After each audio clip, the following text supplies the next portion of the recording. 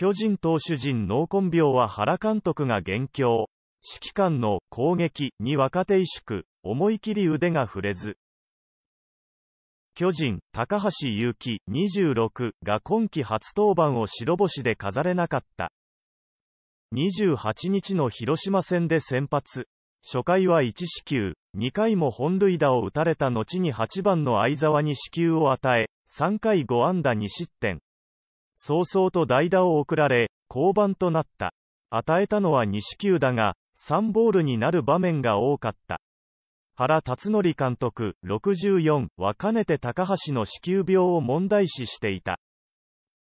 2021年にチーム最多の11勝9敗をマークしたものの、昨季は10試合に登板して1勝5敗止まり。9月に左肘の手術を受けて育成契約となり、今月10日に支配下へ復帰していた。吉球数はリーグワースト2位。脳根病は巨人全体の問題でもある。吉球数63はリーグワースト2位。昨季まで1軍で2年間、投手コーチを務めた桑田源ファームスを監督は、キャッチボールの時から制球力を高めるコツをつかんでほしい。塁間で伸びのある球を構えたところに投げられるような練習をする、と指導。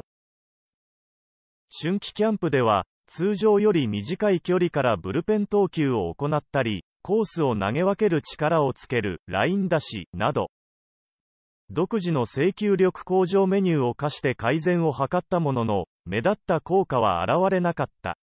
昨季の414吉球もリーグワーストだった。猿巨人 OB が声を潜めてこう言った。でも桑田コーチのせいではありません。制球力を改善させようとメニューを考えたけど、一朝一夕にはいかなかっただけ。問題は別にあると思う。桑田コーチが入る前から、濃紺は巨人投手陣の課題と言われていた。原監督はよく、ストライクを取るので精一杯、とか、ストライクを取るのに救急、としている、と言って請求を乱す投手を攻撃して、すぐに変えてしまうでしょう。若手投手たちは原監督の顔色を伺いながら萎縮している。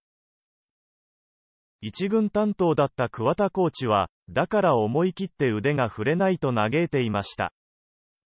犯人は桑田コーチではなく、投手陣にプレッシャーをかける通算17年目の指揮官だろう。以下は、ネチズンのコメントをまとめたものです。今年頑張っている横川は、4登板19イニングで、吉球は2なので、選手の力量の問題じゃないですかね。強いて言うなら、スカウトの目利きの方が問題では。みんな書いてるけどキャッチャーのリードが影響してるところはあるよねここ数年ずっと指摘されてる。試合数出て経験積んだら変わるものだが、そんな傾向もないキャッチャーの配球は巨人のウィークポイントなのに、バッテリーコーチは阿部がヘッドコーチと兼任。本来なら阿部をバッテリーコーチ専属にして、河合をヘッドにすべきだった。もしくは原監督に近い報酬を出して、古田、里崎、谷重のようなリードに定評があった人物を招聘すべき巨人はキャッチャーを教育できるコーチがず、と不在なのが悲しいね。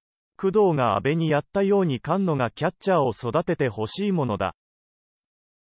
阪神ファンです。ストライクを取りなさいとかストライクが取れない投手はダメだ。